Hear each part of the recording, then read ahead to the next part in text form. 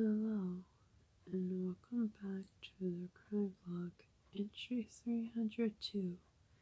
Today we're going to be talking about Stranger Than Fiction, the inspiration for Chicago.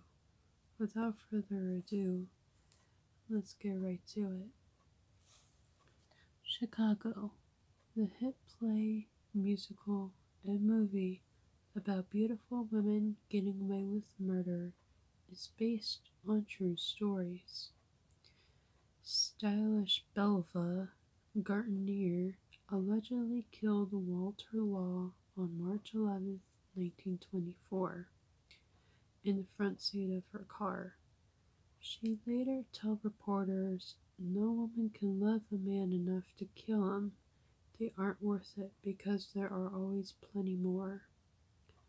Her defense attorney argued that Law killed himself. Gaertner was acquitted on June 1924. In June 1924, I'm sorry. That same year, beautiful Beulah Annan allegedly shot her lover in the back on April 3rd.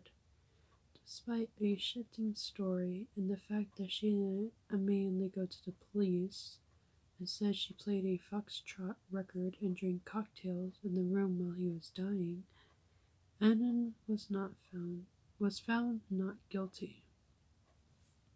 There's also pictures here of both women, as you can see in the over here, the, the left side there. But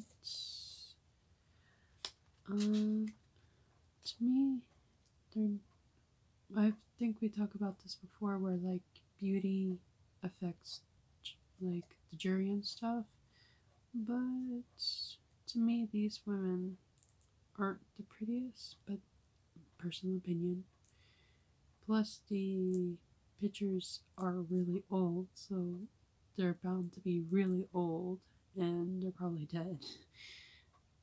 But, um, yeah, that was Stranger Than Fiction. Next time we will be talking about the real Bobby Dunbar. It, it's a question rather than a statement, so definitely going to be interesting. Thought I was going to yawn there for a second. But, yeah that's it for this video. Be sure to give the video a like, comment down below. Also hit the subscribe and the bell notification so you get made aware of new videos. And I think that's it. I'll see you guys next time. Oh, sorry. Peace, love, fogginess. Bye, guys.